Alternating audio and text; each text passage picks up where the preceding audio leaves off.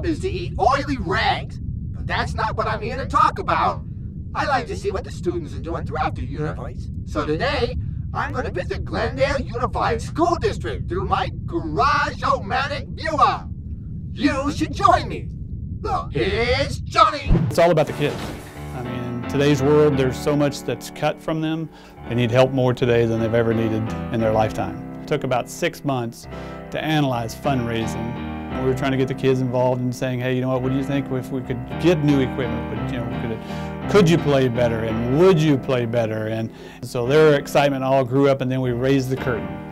It's the equivalent of, you know, just like the Wizard of Oz. I mean, these, these kids were just ecstatic. They had new equipment, now it was them and not the equipment's problem, so they had to actually produce. We come into play to try to help uh, those programs with those teachers that have a drive to bring out the very best of their students. We want to help them to, to make sure that that happens. That Johnny guy sure is nice. In my second year of GIS, I actually managed to win the Lexus Eco Challenge. We had got first place in it. I think we won a total of $35,000 for our school and for college funds, so that was a really great experience. The Lexus Eco Challenge gives the kids a great opportunity and provides that motivation factor for them. They actually get to apply the technology that they learn to a real world problem, and this is something that's going to transfer later on in life. Um, I learned so much from it, a lot about grant writing, writing scientific papers, the whole nine yards and completely intend to use those skills to finish my major and hopefully go into grad school. I joined the ArcGIS program there and I got into marine biology and I was actually able to sail out in the boats with other marine biologists. And they do their own data collection in the field. So we bring that data back to the classroom and we can analyze that data using other technologies. It's really neat to see the students operating the equipment. We went to a shipwreck. We were able to locate it using a side scan. Once we were there, we used remote operated vehicles on a tether 90 feet down and we're able to see the creatures there without having to actually dive down. And they actually do their own fish surveys on snorkel.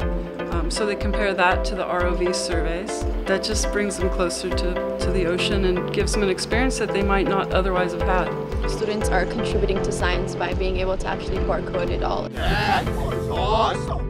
Have three focus areas in which we provide I would say funds to, for enrichment activities and other educational opportunities for our students, and that's in health and fitness, science and technology, and visual and performing arts. Those are things that make a student whole, so you want to keep those things in the curriculum. It's been more and more difficult for school districts to do that. We have, of course, Walt Disney Company that helps with our animation program. We have Pacific BMW, Kiwanis, the Rotary, they all help us. Every person's dollar counts. We're really grateful for everybody who participates in the community. You know, these students are going to be in our workforce. They're going to be your neighbors. And so you want them to have the best opportunities as possible. Each of us gave back just a little bit.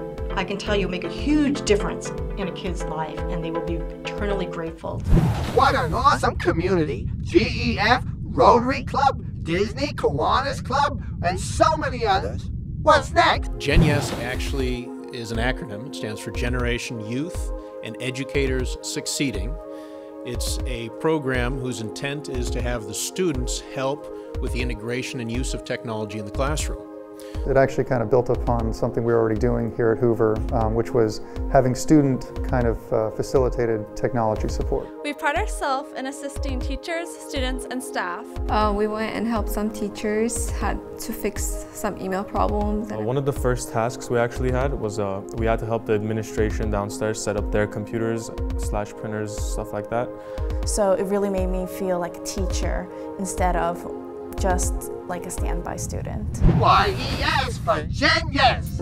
This is actually my 10th year, uh, 9th year in this classroom. I love this program. It's been such a blessing to be a part of it because it, it allows you and it exposes you to so many opportunities that you wouldn't have if you weren't in the academy. You know what? We're going to have brand new classrooms. Yay, I'm excited. Woo! I mean, kids are going to really benefit from it. The program has really grown and the excitement in the kids is just amazing. In addition to honing in on what I really want to do, it also allowed me to change actually from what I wanted to go into before. We learned things that you didn't even know existed or you didn't even know that you could figure stuff like that out. Science isn't really that much about science, it's also about really working as a group and being able to present your findings. They do so many different types of experiments that are so far beyond a high school level. I mean, they're just like gung-ho and they are going above and beyond the regular student. Those scientist kids are so smart.